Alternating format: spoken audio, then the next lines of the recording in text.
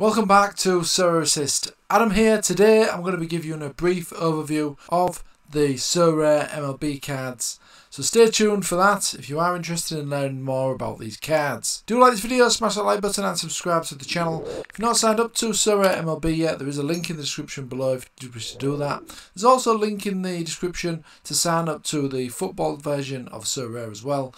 This link gives you an option to sign up to either one of those or even both if you did wish to do that. Okay then, let's get straight stuck into today's content then. As I say, I'm just going to give you a quick guide of the Sorare cards in terms of the Sorare MLB cards. So on Sorare MLB, there's four different card scarcities. There's the unique card, which is obviously just one of those for each player each season, which is depicted by the black colour here. There's also 100 of each player for each season in the super rare cards. Then there's 1000 of each player for each season of the rare cards which is depicted by the red colour here. And then finally we have the limited cards which is depicted by the yellow colour and there's 5000 of those for each player for each season.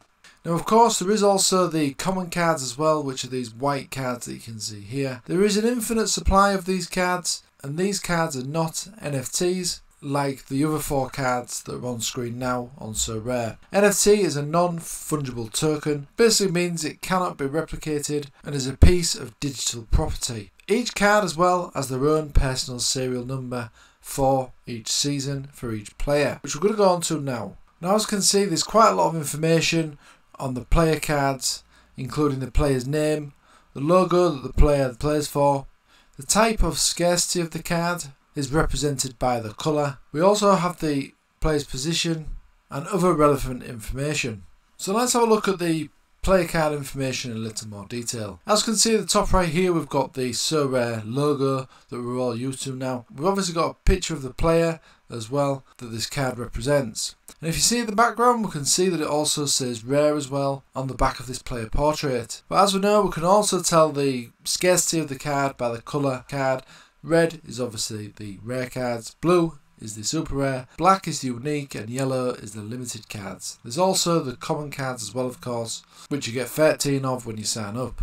We've also got here the season card as well, so as you can see this is for the season 2022. We've got the logo as well of the team that Aaron Judge plays for. We've also got the serial number here, so this is serial number 2 of 1000. Because each season there's only 1000 rare cards of each player. So this is number 2 of 1000. We've then got the player's name here and also the positions that this player can play at the bottom of the card, which tells us that Aaron Judge is an outfield player and also a designated hitter as well for the New York Yankees. Then at the bottom we've got this nice little strip here that says year 1 edition. This basically means that this is the first year edition of the Sorare MLB cards of Aaron Judge. This is obviously going to be the same for all the cards that released in the 2022 season. Some other things to note about cards as well, you can also see their season average score here and also their XP percentage. So this is based on the rarity, so because this is a rare card, the rare cards will get a plus 10 rarity bonus. And cards that are also from the current season, which this one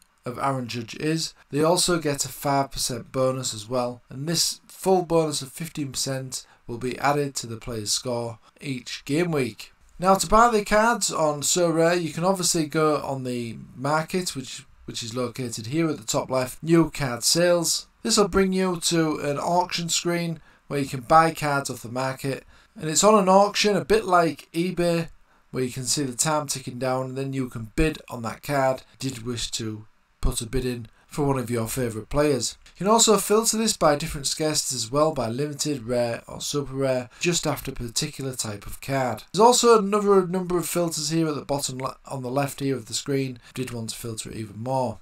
You can also buy cards on the manager sales section as well. So this is where managers will sell their cards that they have purchased. And then once you've bought your cards or got your 13 free ones on the draft when you sign up to Sorare MLB. You can then view them in my cards section here at the top and this will show you all the cards that you have in your collection. As you can see at the moment I've just got some common cards in my collection so far. Again, you can have you've got these similar filters at the bottom here. So I'm sure you'll agree these MLB Sorare cards looks absolutely fantastic. So what are you waiting for? Get involved with the Sorare MLB today. There is a link in the description below if you did want to get signed up. You will get 13 of the white coloured common cards when you do that. You'll also get to pick a star player as well, which could potentially be Aaron Judge. Okay, thanks for watching. Smash that like button, subscribe to the channel, and I'll see you again soon.